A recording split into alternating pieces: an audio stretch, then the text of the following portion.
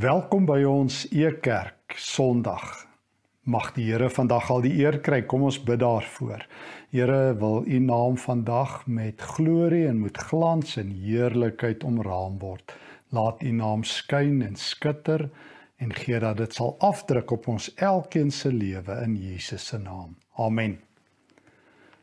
'n Vriend van my het eendag gesê wysheid is om te weet 'n tamatie is 'n vrug maar om saam te stem met almal wat sê dis 'n groente. Nou of dit so is, weet ek nie. Ek sien dis nog so bietjie in die lig dat tomaties groente of vrugte is. Maar feite bly wysheid is skaars. Dis so skaars soos hoenders se tande, sou my oupa gesê het. Meeste Christene soek krag en al die ander gawes van die Here wanneer hulle iets van die Here moet bid. Maar min Christene bid vir wysheid. Toets jouself. Hoeveel keer in jou lewe het jy al vir die Here gevra, Here, gee vir my wysheid. Daardie wysheid wat ehm um, Salomo gehad het. Van Salomo gepraat. Ons sluit aan by by 'n teks wat ehm um, vir my ehm um, so aangegryp het, 1 Konings 3, waar Salomo een nag 'n droom het van die Here, onthou jy? En dan verskyn die Here 1 Konings 3 vers 5 Daar in Gibeon het die Here die nag in 'n droom aan Salomo verskyn en vir hom gesê: "Wat wil jy hê moet ek vir jou gee?" En dan vra Salomo onderskeidingsvermoë. Hy sê: "Here, gee aan my die gehoorsaamheid aan U dat ek die volk reg sal regeer en in alles insig sal hê, want wie kan uit homself hierdie groot volk regeer?" Die Here het dit goed gevind dat Salomo dit gevra het, dat Salomo inderwaarheid wysheid van die Here afgebid het. Daardie een ding, as jy dit van die Here kan hê, daardie een kosbare skat, wysheid. Dit is die Spreukeboek natuurlik wat vertel hoe lyk wysheid, hierdie soort wysheid waarvoor Salomo bid en vergeet vergewe as jy die vliegtye so hoor. Ehm um, dit is maar wat gebeur as ons onder die vliegtye bly. Maar daardie een ding wat wat Salomo gevra het wat sy lewe verander het. Die Spreukeboek handel daaroor. So kom ons gaan delf net so vir 'n paar tree in die skatmyne, die goudmyne van wysheid. Wat is dit wanneer ek saam met Salomo vir die Here vra? Here, gee vir my wysheid daardie wysheid wat so leer Jakobus 1 my, as ek dit van God vra, dan sal hy dit aan my gee.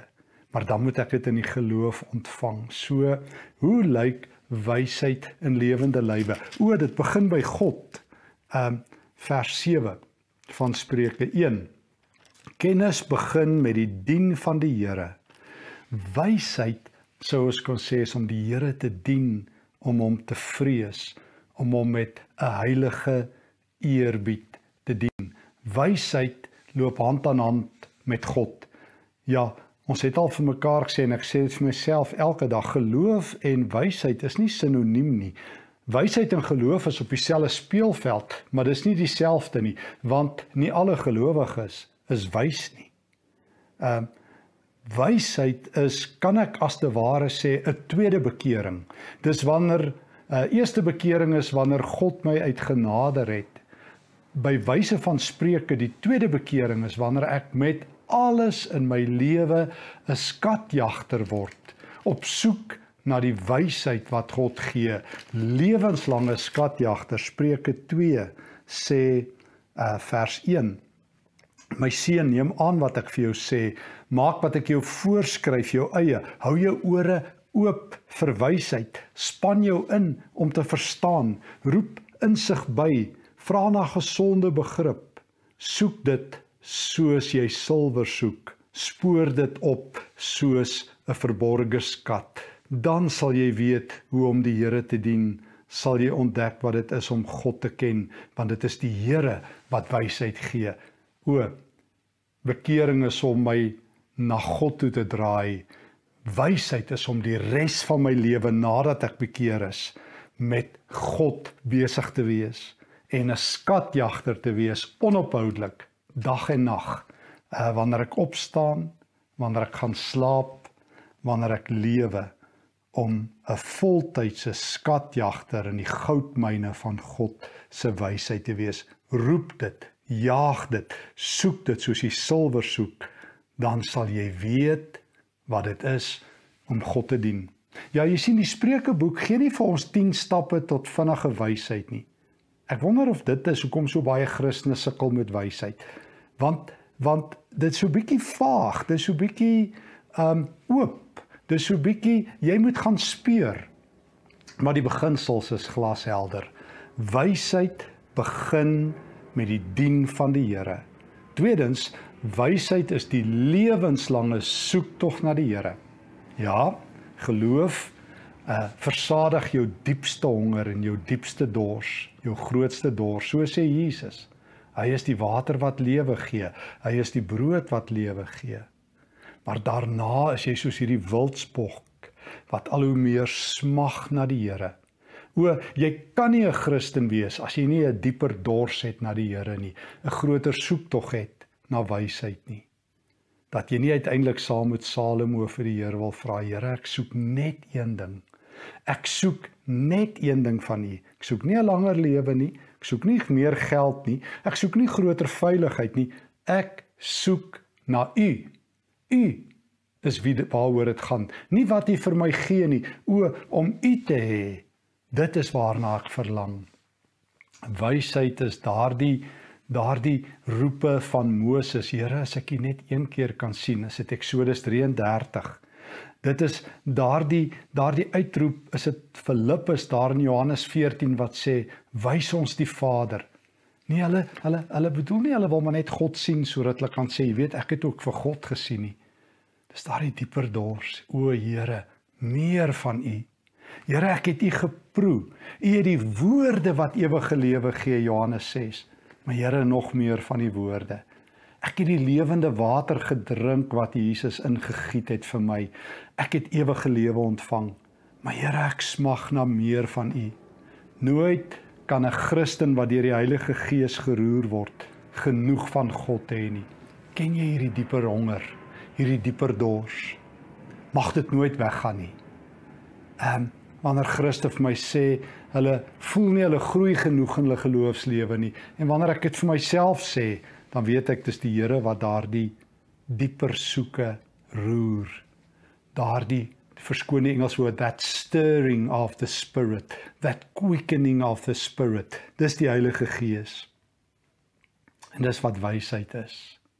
Wanneer jy dit waag om Jakobus 1 te bid Here gee vir my wysheid sê die Here. Maak jou gereed vir 'n dieper soektog na die Here. Word jy lewenslange skatjagter in die skatkamers van die Allerhoogste. En dan sal jy weet vers 5 van Spreuke 2 om die Here te dien. Dit begin terwyl jy jonk is. Het jy gehoor hoe sê Spreuke 2 vers 1: My seun, neem aan wat ek vir jou sê.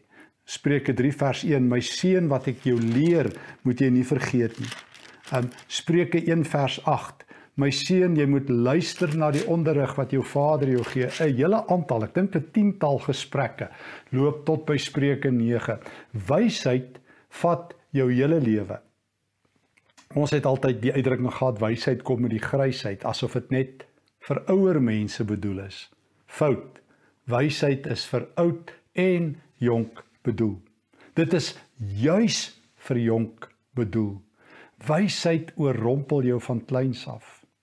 Dit is Joshua van wie ek lees in in Eksodus 33 wat as 'n jong man wysheid gekies het deur in die Here se teenwoordigheid te wees. Dis die prediker wat die jong mense oproep om te sê jy moet jou lewe geniet, net daar aan die einde van eh, die prediker. Maar maar maar bo al doen wat jy goed vind met jou hand, maar onthou dat die Here saam met jou op pad is. Wanneer ons weer 'n jeug het wat van jongs af God soek, wie se wat wat van jongs af in die Here se teenwoordigheid is. En dit is ouer persone wat jonger persone moet leer om in die Here se weë te wandel, om van jongs af die Here te dien. Net verlede week vra 'n jong ouetjie vir my per e-pos watter wysheid kan ek vir hom deel uit God se woord. Toe sê ek vir hom: "Dien die Here terwyl jy jonk is." Soos dat mens ouer word, word jou keuses minder. Die die die vrug uh, uh, wat jy pluk is die saad wat jy 20 jaar terug gesaai het. Uh, die dag dat jy die vrug eet is nie die dag dat jy die saad geplant het nie, lei 'n ou spreuk. Tereg. En daarom moet jy van jongs af die regte keuses maak. Dien die Here. Dien die Here. Dit was Spurgeon wat vertel, die ou bekende Charles Spurgeon van 'n jong man wat vir hom wat wat vir wie hy een keer gesê het jy moet jou lewe vir Christus gee. Toe sê hy Dr Spurgeon, I first want to enjoy my life. Toe kyk Spurgeon om so te sê jy het maar 'n lae idee van wat is ware vreugde. Jou ware vreugde, Johannes 10 vers 10 het hy vir hom gesê, 'n lewe in oorvloed is om van jongs af die Here te dien. Miskien is dit 'n tragedie dat godsdiens so vaal en vervelig en voorspelbaar geraak het en dat party godsdienstige so teen alles en teen almal is dat jong mense hulle partykeer doodskrik want lyk vir hulle as jy 'n godsdienstige word dan moet jy nou vaal vervelig voorspelbaar en 'n bietjie vrekkerig wees. Ek trek terug. 'n bietjie dooierig wees. Dis nie waar nie. Dis juis lewe in oorvloed. Dis juis 'n lewe waar en dis 'n volgende kenmerk so wysheid lewenslange skatjagter lewenslange najager van God van jongs af doen jy dit um dit bring jou seksualiteit onder beheer sê die prediker 'n paar keer vir jong mense in prediker 3 4 en 5 ag jy kan dit gaan lees hy hy waarsku jong mense dat as jy seksualiteit nie onder beheer is nie, dan gaan jy agter hierdie losbandige vrou aandrentel, skryf hy in Prediker 5 vers 3. En dit gaan jou lewe vernietig. Hy sê dit sal jou beste jare van jou wegvat. Dit sal jou siel steel. Ons leef in 'n wêreld waar seksualiteit sport en ontspanning geword het. Waar jy nie meer 'n storie op televisie kan kyk nie of of ongeoorloofde seksualiteit word in jou keel afgedruk waar pornografie verslawing um skrikwekkende afmetings aanneem. Nou die dag vertel Johan Smit vir my wat baie met jong mense werk wat die nuutste statistieke is oor pornografiese verslawings onder jong mense, beide seuns en meisies. Dis verskriklik. Om nie te praat van ouer mense nie. Die die Spreukeboek sê seksualiteit is mooi en dis gevaarlik. Wanneer jy dit vrye teels gee, verander ander mense in objekte op wie jy jou drange moet uitmors. Moet dit nie doen nie. Ja God na en God sal seksualiteit iets heilig maak en sal maak dat jy vir ander mense se liggame respek het van jongs af. Dat ander mense nie daar is vir jou om uit te kyk en op te gebruik en weg te gooi nie.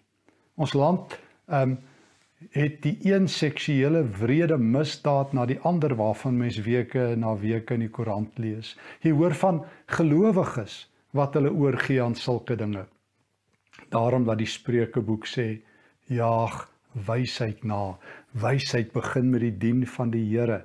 Soek God lewenslank. Doen dit van jongs af.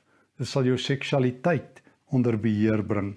Maar dit sal nog iets doen dit sal ehm um, dit sal uh, jou hart verander Spreuke 4 vers 23 daardie bekende woorde wees veral versigtig met wat in jou hart aangaan want dit bepaal jou hele lewe. Ehm um, wanneer jy wysheid soek, sal jy God vind. Wanneer jy wysheid soek, sal dit lewenslank aanhou. Wanneer jy wysheid soek, sal jy van jonk tot oud die Here dien. Wanneer jy wysheid soek, sal jy van jonk tot oud jou seksualiteit in God se hande sit. Sal jy van jonk tot oud jou hart oppas. Jou hart is bedrieglik, moet dit nie vertrou nie. Laat God jou hart aanraak. Wees versigtig wat in jou hart aangaan. Bedoelende wat jy dink, wat jy in jou gedagtes toelaat, waar waarvoor jy jou oë voor toestemming gee om na te kyk en wat oor jou lippe kom. Pas jou hart op. Dis bedrieglik dat God jou hart verander. Dat God elke dag 'n hartoorplanting maak, sy hart in ruil vir joune. Sy hart in ruil vir joune. Laat God jou hart verander. Wysheid gaan ook maak dat jy anderster met jou besittings omgaan. Spreuke hoofstuk 3 um, vers 9 en 10. Ek lees in vers 9. Um vereer die Here met jou offerande uit alles wat jy besit en met die beste uit jou oes. Dan sal jou skure oorvol wees en jou parskype oorloop van wyn. En dan Spreuke 3 vers 27. Moenie 'n weldaad weerhou van iemand aan wie dit toekom terwyl dit binne jou mag is om dit te bewys nie. Moenie vir iemand sê gaan eers terug en kom môre weer dan help ek jou as jy nou reeds kan help nie. O 'n wysheid verander nie net jou oriëntering dat jy jou hele lewe na God soek nie, dat jy vandat jy jonk is die Here soek nie, dat jou seksualiteit verander in in respek teenoor ander mense vir hulle liggame nie. Dat dit verander ook jou hart, maar dit verander ook hoe jy moet geld werk. Jy sien Spreuke se wysheid is baie prakties. Jy gee jou beste vir die Here en uh dan is jy vry. Jy gee nie jou laaste beste, dit wat oorbly nie. Jy eer God eerste en die res volg van self. Dis 'n belangrike Bybelse beginsel. Dit bots met ons natuurlike ingesteldheid. Ons natuurlike ingesteldheid uit uh, ingesteldheid is ek eerste en wat oorbly vir ander mense. Me myself and I. Sorg eers vir jouself. Dit dit klink um, dit klink so kontraproduktief om dit andersom te doen. En dit is tog God se beginsels. Stel God eerste. Eer hom met jou beste. En jy sal nie verstaan nie hoe jy sal altyd genoeg hê en hy sal altyd vir jou dra, dan sal hy elke dag brood wees. En as jy mense moet help, help hulle vandag nog. Ons het laasweek ook daaroor gepraat oor einste Spreuke 3. Moenie 'n weldaad weerhou van iemand wat dit van jou vra nie. Dit beteken ook daarom nou nie jy moet dwaas wees nie. Beteken nie jy gee vir iemand soos baie ouens sê, jy weet ek gee vir mense dan sit op hulle gewete wat hulle daarmee doen nie. My standaard vraag is, doen jy dit met jou ander geld ook of doen jy dit net met God se geld? Dis nou hulle verantwoordelikheid. Gee jy vir die bank jou geld en sê ag julle kan daarmee maak wat julle wil. Dis op julle gewete. Maar jy doen dit met God se geld, jy mag nie. Paulus sê vir my in in wanneer hy ook met wysheid werk in die Tweede Tessalonisense brief. Mense wat nie wil werk nie, moet ook nie eet nie. Hy bedoel jy moet hulle nie help nie. Mense wat wat wil werk maar nie werk kry nie, jy moet hulle help. So jy moet ook verantwoordelik wees. Jy moet ook onderskei. Maar dat jy moet help vandag nog, dis dringend. So wyse mense lewe vrygewig. En vrygewigheid het ons laasweek ook gesien is die hartklop van God se woord. So hoe lyk wysheid? Dis 'n tweede bekering. Eerste bekering is wanneer ek my lewe in Christus se hande plaas. My tweede aanhoudende lewenslange bekering is wanneer ek na God begin dors, wanneer ek wysheid najag. My eerste bekering maak die ewige lewe oop. Uh my tweede bekering na wysheid verander hierdie lewe op pad na die hemel toe. Um wysheid verander die manier hoe ek elke dag lewe. Dit maak dat God my hele lewe word dat my ganse liggaam, my seksualiteit, my hart, my besittings in God se diens raak. Ja, wysheid verander ook my mond. Hm. Hm. Ek wonder of dit die laaste ding is aan ons wat tot bekering kom, ons tonge. Miskien net daai bekende Spreuke 15 oor Spreuke loop oor van opdragte oor wat ons met ons mond moet doen en wat ons nie moet doen nie. Dwaase kan nie hulle monde hou nie. Ehm um, ja, Spreuke ken natuurlik dwaase en daar's baie. Daar's verskillende soorte dwaase. Maar een van die standaard kenmerke van dwaase is dat daar nie brieke voor hulle woorde is nie. Dat hulle nie dink voor hulle praat nie en dat hulle woorde soos messteke is. Spreuke 15 vers 1. 'n Sagte antwoord laat woede bedaar. 'n Krenkende woord laat woede ontvlam. Die woorde van wyse mense maak kennis iets begeerlik. Dwaase mense sê net dwaase dinge. Um vers 4 kalmerende woorde bring lewe, skynheilige woorde breek mense. O wanneer jy uh, wys is, tel jy jou woorde, weeg jy jou woorde en praat jy woorde wat opbou. Dis verstommend hoe baie Christene sê wat hulle wil en dink wat hulle wil en tik wat hulle wil. Ehm um, ek is weekliks verstom oor ehm um, die diskrepansies, die teenstrydighede wat ek optel in my eie lewe, maar ook in ander Christene se lewe op sosiale media dat hulle net nie brieke het voor hulle vingers en voor hulle lippe uh, dat hulle net sê wat hulle wil nie. Ons kan nie. Ek het nie die toestemming by die Here om oor mense te sê wat ek wil en vir hulle te sê wat ek wil nie. Wysheid bring 'n nuwe tekstuur aan my taal. En as my tong nie tot bekering kom nie, het ek nie wysheid nie. Wanneer ek my hart vir die Here gee, maar my mond vir myself hou en mense stikkend praat, en hard praat en vloek en lelik praat soos dit my pas want ek sê wat ek wil want ek is reguit hoor ek en um, ek I speak my mind. Nee jy het nie die toestemming om dit te doen nie. God sê jy kan nie. Jy kan nie sê wat jy wil nie. Ek kan nie sê wat ek wil nie. Ons wil maar ons kan nie soos wat ek altyd nou maar tong in die kies sê. Uh voordat ek skinder oor iemand moet ek eers na hulle toe gaan en hulle sê jy weet ek wou oor jou geskinder het, maar nou die Here gesê ek kan nie. Want wysheid maak dat ek nie dit kan doen nie. So, hoe lyk 'n lewe van wysheid in 'n neutedop? Ek ek skilfer net die die Spreukeboek se wysheidstekste af. Dit begin met 'n lewe wat smag na die Here. O, tyd en hier's 'n hondjie agter my. 'n Liewe Penny en wysheid is dat ek nou haar moet rustig hou. Maar die die die, die wysheid beteken lewenslank soek ek die Here. Wysheid maak dat ek nooit genoeg van God kan hê nie, nooit nie en daai honger sal nooit weggaan nie. Dit wys dat die Heilige Gees in my werk en dat daar 'n dieper dors is. O, wysheid maak dat ehm um, dat ek van ek jonk is die Here dien en dat ek jong mense aanmoedig om die Here te dien. Dit bring my seksualiteit, my hart, my geld en my lippe onder beheer. En die vrug van wysheid net in 'n neute dop en kom ons sluit daarmee af. Net so vinnige blik in Spreuke 3. Weet jy wat is die vrug van wysheid? Jy kan dit al hier en nou in jou lewe beleef. Wysheid is nie 'n hipotese nie, dis 'n daaglikse realiteit. Kan ek weer sê, Wysheid is nie 'n hipotese nie. Dis nie soos daai, jy weet ons moet almal wysheid najag, dan sê almal ja, ja, ja, ja. Ja, jy weet, daar's te min wyse mense, dan sê almal ja, ja, ja. Nee, wysheid is 'n realiteit. Ek hoor dat ek um, wysheid kan vind.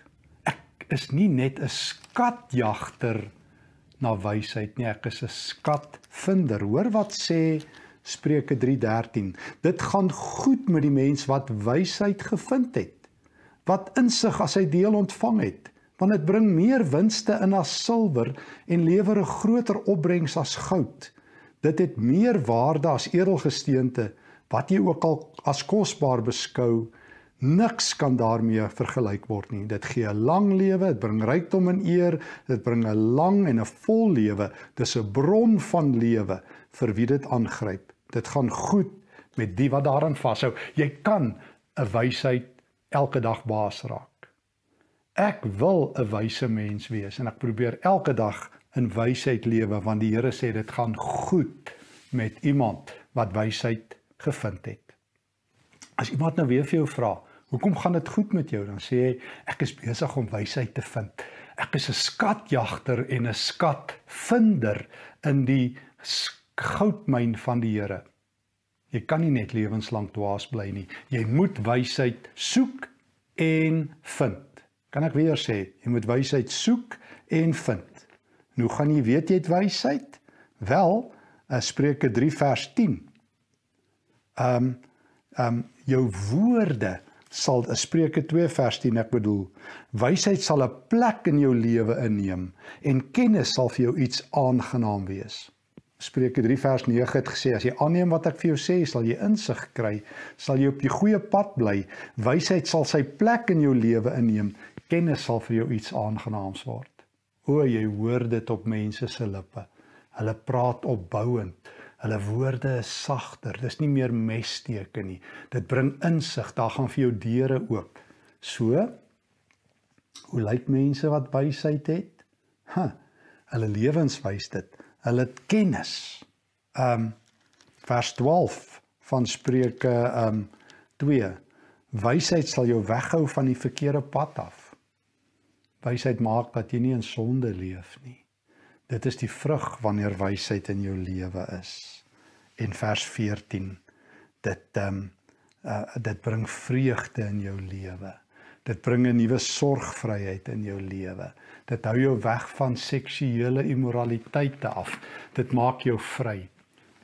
Nou wil ek vir jou vra en ek wil vir myself vra. Is dit nie hoogtyd dat ons doen wat Salomo gedoen het nie? Is dit nie hoogtyd dat die enkele belangrikste ding wat die kerk van die Here kort hier in 2022 wysheid is nie? Dat ons weer van vooraf die Here se teenwoordigheid sal najag, dat ons 'n dieper dors en 'n groter honger na God sal hê. Dis wysheid dat ons skat jagter sal wees. Sodat wat sal gebeur? my hart onder beheer sal kom, my seksualiteit onder beheer sal kom, my lippe onder beheer sal kom en my hele lewe van jonk tot oud 'n nuwe doel, 'n nuwe purpose sal hê, naamlik God alleen. Hoe doen ek dit? Ek bid elke dag vir wysheid, soos Jakobus 1 my leer. As jy wysheid kort kom, vra dit van God. Hy sal dit vir jou gee, so waarborg Spreuke 1. So ek bid dit, ek ontvang dit, ek beoefen dit En dan vertel ek ek is 'n skatvinder. Ek het wysheid gevind Spreuke 3 en Spreuke 2 en my lewe kom al hoe meer onder die beheer van God se gees. Kom ons vra vir die Here vir wysheid. Here God, ek kom wysheid kort. Ek kom staan bakkant voor U en ek pleit dat U Gees 'n nuwe porsie wysheid in my lewe sal uitstort. Bring my hart, my seksualiteit my tong, my gerigtheid van my lewe, my geld, alles onder u gees se beheer. En Here gee dat ek vandag nie net 'n skatjagter sal wees in die in die goudmyn van u wysheid nie, maar 'n vinder daarvan. Ek ontvang dit in Jesus se naam. Amen. Wat 'n voorreg om vandag saam te gereis het. Dankie vir elkeen wat betrokke is by e kerk, jy so welkom op ons op uh om op ons uh, verskillende webblaaie in te skakel of uh, ek bedoel op ons app en op ons webblad of op e kerk se YouTube op e kerk Facebook. Dankie vir almal wat op hierdie twee platforms betrokke is. Dit lyk vir my as eerste al meer mense op YouTube Sondag. Maak nie saak op watter platform jy na e kerk kyk nie. Baie dankie vir jou betrokkenheid en saam wees mag die Here jou ryklik seën, skatjagter en skatvinder in die goudmyn van wysheid. Vrede vir jou.